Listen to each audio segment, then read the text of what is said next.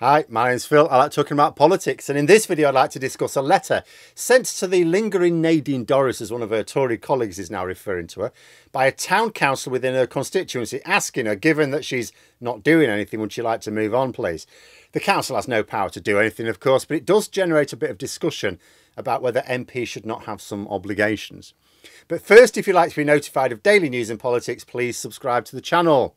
So Flitwick Town Council have written to Mad Nads. Now, I am going to point out, recently I had a lot of Southerners say, oh, Phil, you're pronouncing that Southern town incorrectly. It's, it's actually pronounced this way instead. So no doubt I've got people saying, actually, you'll find it's pronounced but Flitwick Town Council until someone corrects me. And they've noted that Mad Nads doesn't seem to be doing any work as an MP, either locally or in Parliament, spending all her time on her television show, other personal projects such as like writing. They also note that she's not registered any comments in the Commons for over a year and is believed to have held no surgeries locally for over three years. They argue that their constituents need representation. Actually, they, they say effective representation, little dig, I think, and urge her to vacate her seat in order to trigger the by-election. Now, obviously, Nads is not going to be moved by the appeal. She will resign when she thinks it best suits her need for spiteful revenge, if indeed she resigns at all. And in fact, she's given the Express the impression that she will not even be responding to this letter. Of course not, because an MP responding to a council letter within their constituency would count as doing her job as an MP, wouldn't it? Can't break her streak now. But the report further says that she might complain to the Electoral Commission about the council.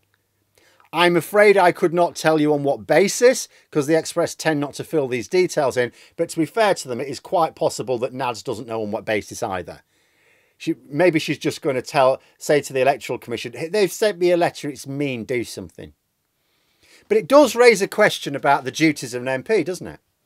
Nadine Dorries is a really good example. She's not a unique example, but it's a really good example of the fact MPs don't actually have to do anything.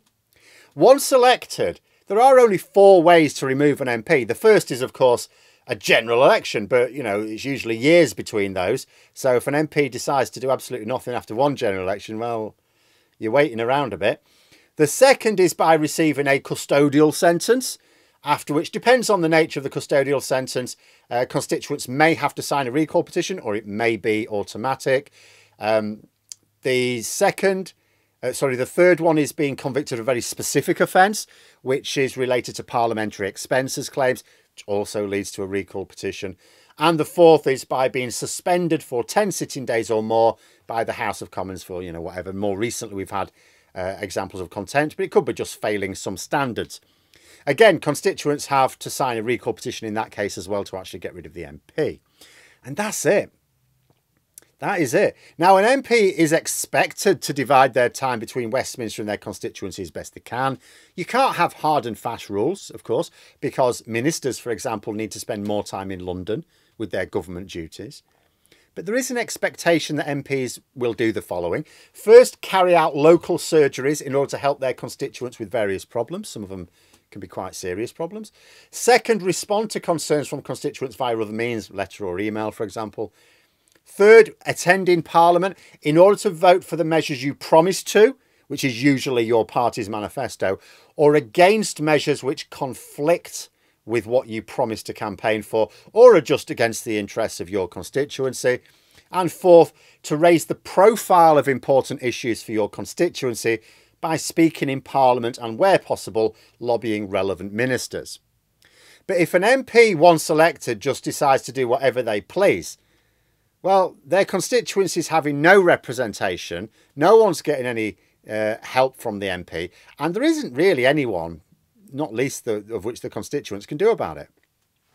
Now, obviously, little exception is Sinn Féin MPs do campaign specifically on the promise of not taking up their seats, but that is made explicitly clear during the election period.